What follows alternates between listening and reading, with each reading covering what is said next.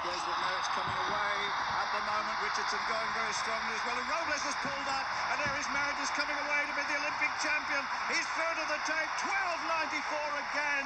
Richardson gets the silver. And what about that?